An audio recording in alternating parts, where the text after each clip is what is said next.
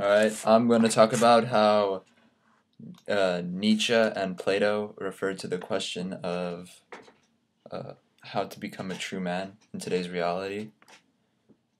So, in Nietzsche, there's three metamorphosis stages that you go through. The spirit changes, to, it becomes a camel, and the camel becomes a lion, and the lion at last becomes a child. Alright, so the things that I'm going to talk about. So the spirit is it's from a man and it and uh, the camel it's it carries the heavy burdens. The the camel is seeking and it wants to it wants to carry these heavy burdens and and it goes through different challenges and it asks the heroes like what it asks them what is your heaviest burden? So he wants to he basically wants to take on these challenges as what this is what a true man should do. He should he should go out face the reality and he wants to take on his own challenges. So we want we want to be the camel. We want to be fully laden we want to carry uh, carry our own burdens and pass those obstacles that come through our life. And uh, the lion, the camel turns into a lion. The lion is freedom. So we when we're the lion, we we're independent and we we struggle for victory, which we do this every every day in our lives. So we're free and we make our own choices so that that's when we're the lion. And when you're to become a true man, you're not gonna go to your mom or dad, you know, to tell them to help you. You're going to you're gonna be that lion. Take on your own path. Be the camel, overcome your obstacles, make your own decision when you're the lion. Um, and then when you're the lion, in uh, Nietzsche, you fight the dragon. So basically the dragon is let's say let's say you're uh, doing a job and you're working for someone that person you're working for is the dragon your boss. He tells you what to do what not to do. Well when we're the lion we're trying to go from down here higher and higher and higher to basically try to get that position to be the dragon. So and the lion has a sacred no. And what else? Uh, so we have to try to fight the dragon and overcome it. And after we accomplish this and take that position when we beat the dragon, that that's when we become a child. And when we're the child, it's basically it's like it's a rebirth a rebirth of everything. So it's a new beginning, rebirth. It's like a it's like a, a blank slate. So let's say like you did let's say you did Biden high school, you'd end up going to community college and you start off with a clean clean slate. Whatever grades you get there, that's what the college you want to transfer to, that's what they want to see. So and when when you're child that's this is you become a true man when like you forget everything that happened and like you just you just have to move on and go. So when in real life we're the camel we carry the heavy burdens then we're, we're the lion we're free. We gotta go try to fight that dragon try to get into a higher position and then not let anyone boss us around.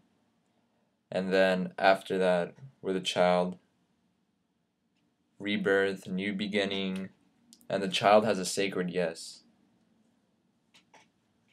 Um, all right, so the way so Plato, the way it's related to Plato, is basically we're in this we're in this cave, and basically we don't we do not want to be the marionette, the puppet. We don't want to be a puppet controlled by strings and let people controlling us. We, we don't want that.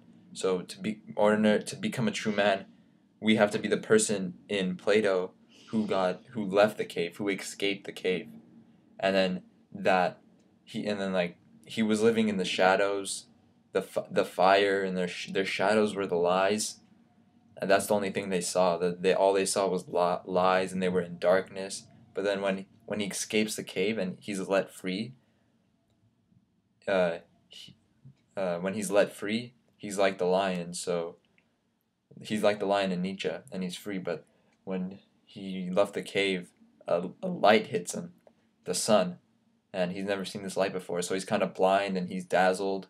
He doesn't know what to do. But then later on, he gets used to it, and this the light represents the truth, and this truth is uh, there's many obstacles in the way. Like the, that that sun, I think it relates to kind of it also kind of relates to Nietzsche when he says a line. He says uh, of the challenges for the camel. He says, To go into foul water when it is the water of truth, and not avoid cold frogs and hot toads. So that kind of relates to Plato's light, when the light hits you. Like, truth of water, that's the truth. You gotta go, go after the truth, and the cold frogs and hot toads, those are gonna be the obstacles come in your way. The, the burdens. That's where you, you're the camel, and you just have to overcome those. And that's that's how you become a true man. You gotta overcome these obstacles. A true man isn't someone who just, oh, tough guy, look at me. No, it's you gotta be responsible. Take on your own challenges. You gotta be responsible.